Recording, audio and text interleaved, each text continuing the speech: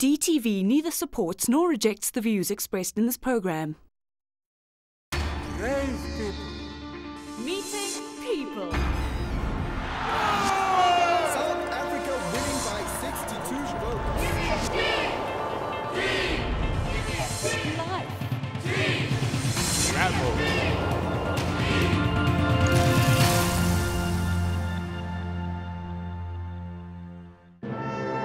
Today, we practice signing the complete national anthem.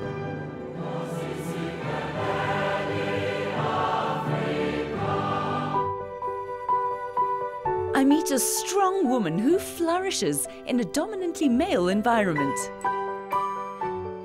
I'm Romy. Sign name. You're watching DTV. How will you defend yourself when someone is choking you?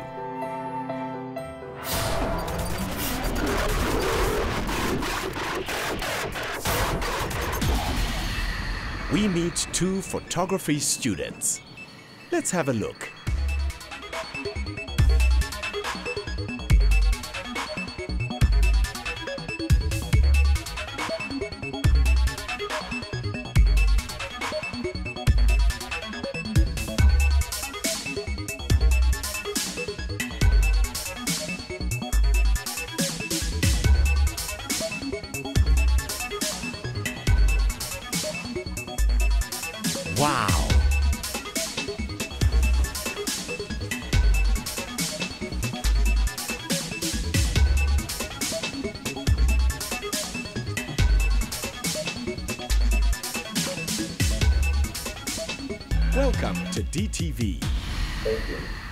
What are the courses the Academy offers?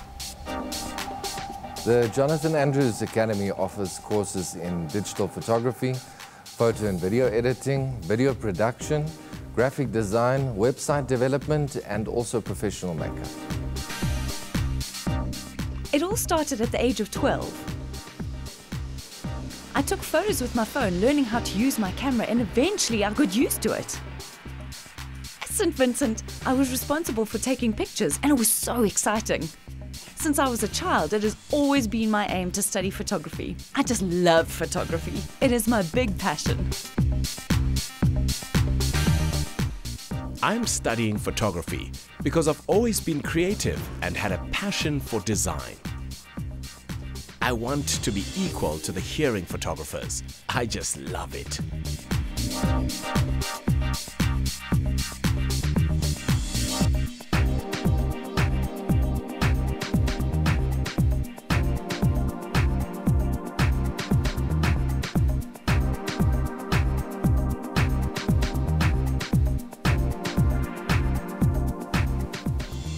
Does the Academy do to ensure that the students excel in a competitive marketplace?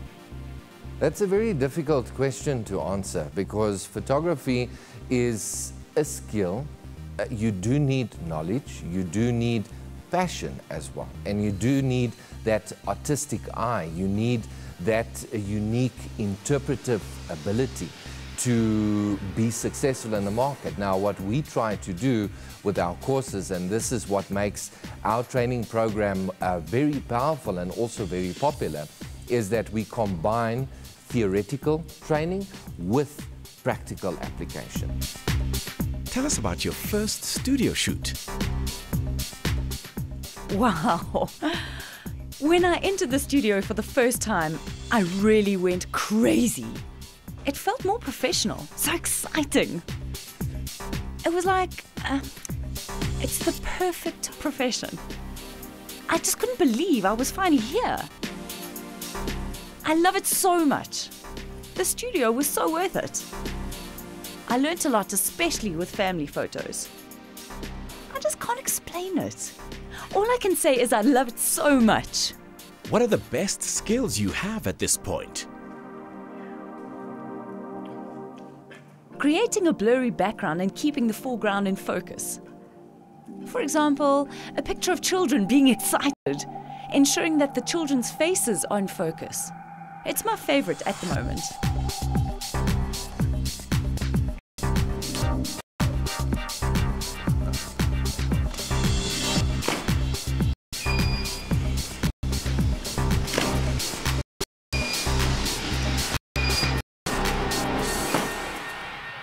Favorite photos are moving cars and people in front of the lens.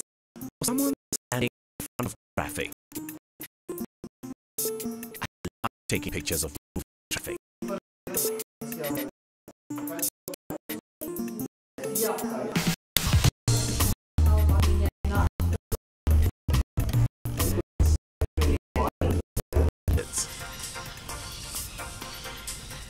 Here we actually more like a family, so so it's not rating people individually, and um, to us it's all about passion of what we're doing and, and, and really getting into something and loving it. So so you find a lot of students that come here that's got endless amounts of talent, but they don't have a passion for it, or you get people that's really got the passion for it, and um, other than that, it's, it's, it's just really getting to know what you're doing and how things work and, and knowing theory. So I think, I think with them it's amazing because, because they've got this amazing passion for photography and art and life, which makes all the difference. How do you bridge the communication gap?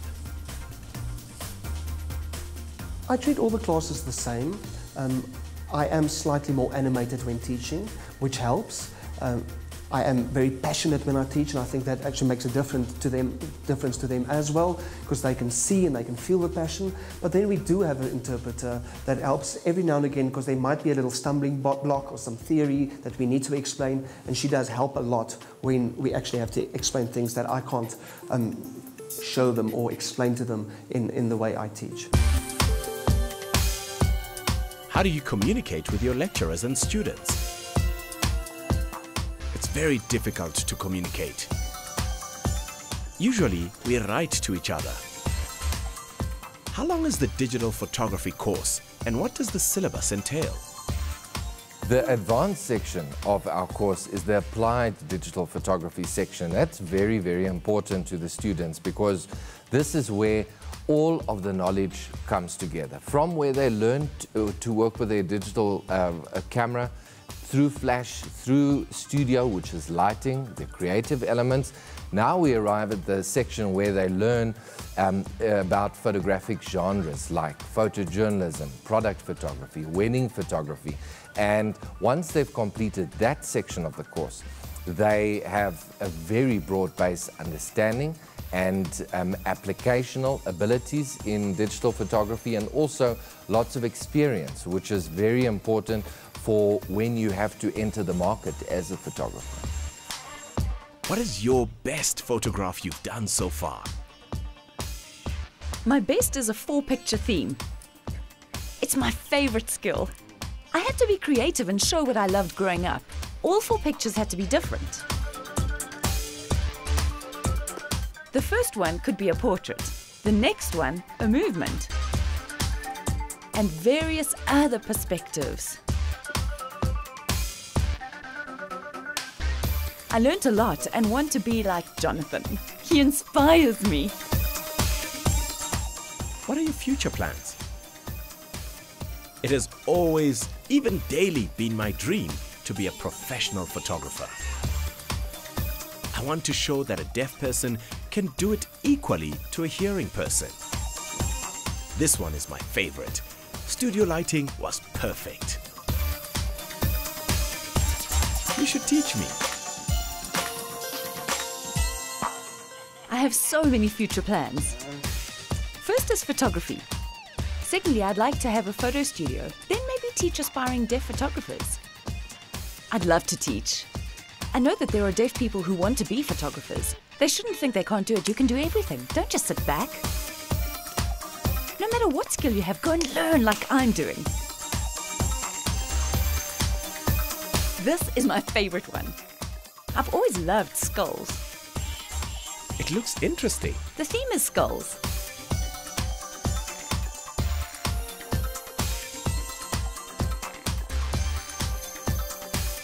Nice. Nice? It's great. You are watching DTV.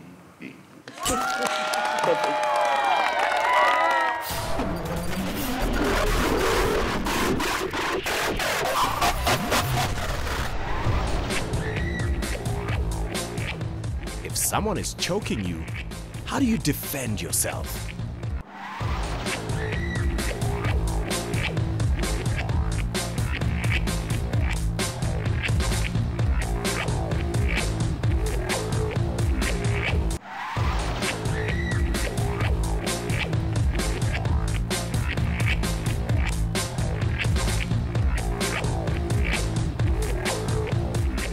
In this insert, we're going to be showing you how to get out of a choke. Very often, people assault you by grabbing you from the front by the throat or coming up behind you and putting their arm around your throat in order to try and choke you. And there are several ways that you can get out of this. We demonstrate two simple techniques. One is called the hair gel, where you're quite literally taking a hand and running it through your hair and using your shoulder to take the opponent's hand off your throat. In the other example, where somebody grabs you from behind, we have a technique called the reverse out, where you're grabbing the opponent's arm, turning your head to protect your throat, and reversing out behind the opponent so that you can kick their knee, injure them, and get away as safely as possible. A choke is a very dangerous attack, and you need to get out of it as quickly as you can. These techniques should be practiced as much as possible.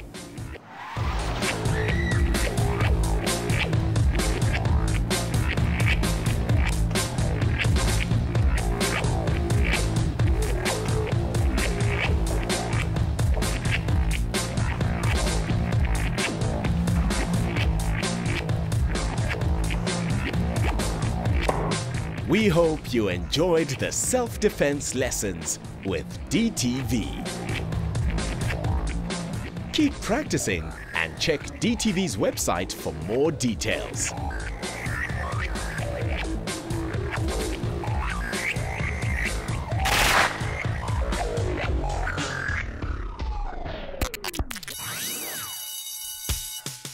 Today's lesson will focus on signing the South African national anthem. Over the past weeks, we've learned each of the verses. Now we're going to put it all together. Try it with me.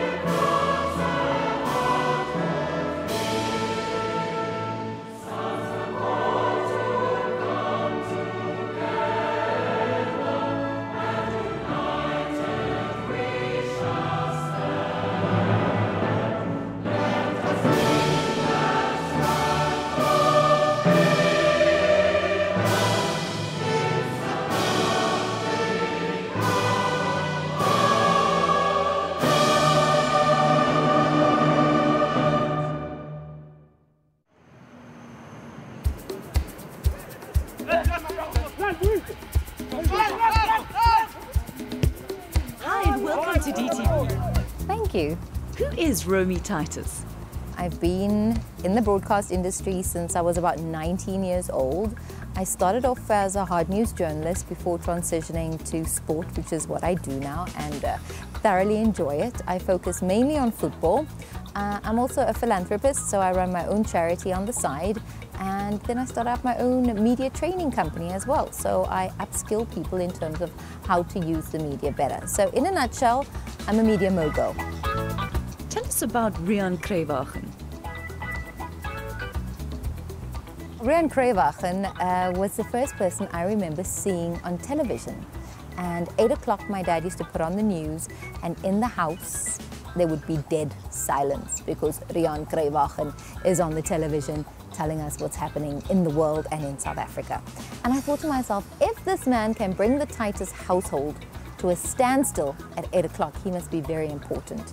And if he's that important, then I need to be just like him so that my dad can bring the house to a standstill so that he could watch me. Good evening and welcome to the news at 7. Good evening and welcome to an early edition of the news at 7. Good evening and welcome to the news at 7. Were you a good news anchor? I must have sucked at some point, but I do hope that I've perfected the art and um, that people kind of look back and they're proud. They're proud of what they see, they're proud of what I stand for, and they still want to tune in and see me deliver the news, regardless if it's current affairs or sport. When was your first bulletin as a news anchor? My very first news bulletin, I was 20 years old. Uh, probably from what I've researched, the youngest news anchor in South Africa. Uh, Oprah Winfrey was 20 when she took to the airwaves. And so I hold that kind of dear because Oprah and I have something in common. Uh, I have to say, I took like a fish to water. Live TV is my drug.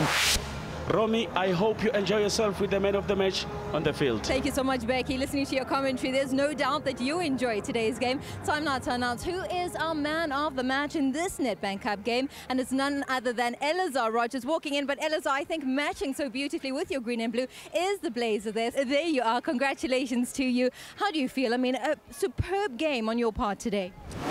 So now we talk to the Magic FC coach Stober. Coach, hard luck for you here today. No, fantastic. Um, fantastic effort from the guys. Obviously, tough playing against Platinum Stars uh, here at home.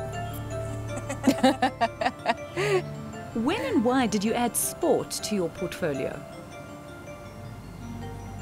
I didn't know anything about sport, but uh, a colleague of mine actually said, why don't you come and try sport? And he kind of opened the door and said, I think this is a match for you, and I think this is where you belong. I didn't really take him seriously. I thought, oh, let me try it. I'm always going to do hard news. Hard news is my first love. And then the sports bug bit me, and I just started wanting to know more, to learn more. I sit with the commentators still, and um, because I haven't played sport, I haven't played football uh, particularly, there's a lot that I don't know and that I still have to learn, sort of textbook style. So I've got a very long way to go. But I love it. I mean, it's something that unifies a nation, that brings people together. What more do you want? How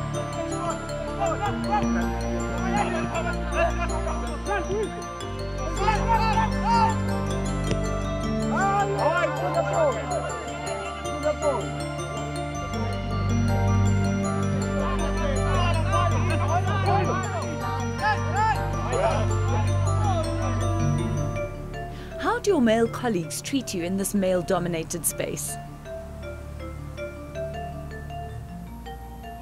I almost always wear pants so that I blend in because if you do come in a skirt or a dress, you stick out like a sore thumb. I try to be one of the boys. Not that I want to be a boy, but I don't want them to treat me any differently. I do what they do.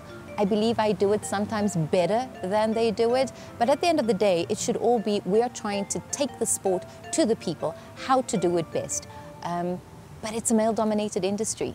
And if they can see you crash and burn, trust you me, they'll sit back and laugh. Yeah. Yeah.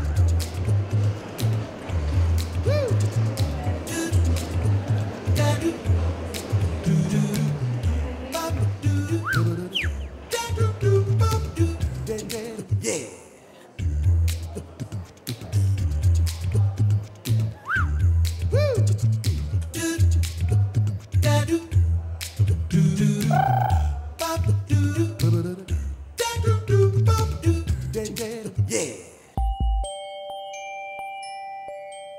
are the founder of Babies Behind Bars. Tell me more.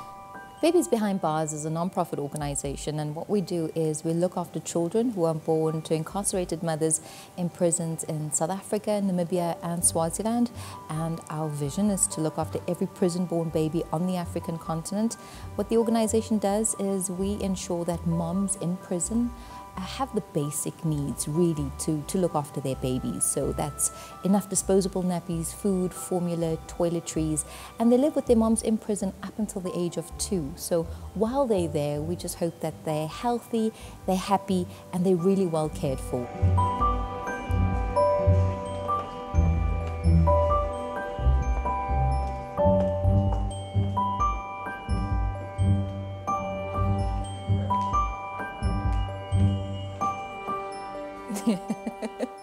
Complete the following sentences. My first job was. My first job was as a cashier at a sweet store. My worst job was. My worst job was waitressing. I didn't really like that. My best interview was. My best interview ever was probably with the president, uh, Jacob Zuma, and then President, uh, the late Nelson Mandela. My biggest boo boo was. My biggest boo boo was I swore on air and I was live and I went bright red and I just paused for a few seconds and then carried on reading the news like it didn't happen.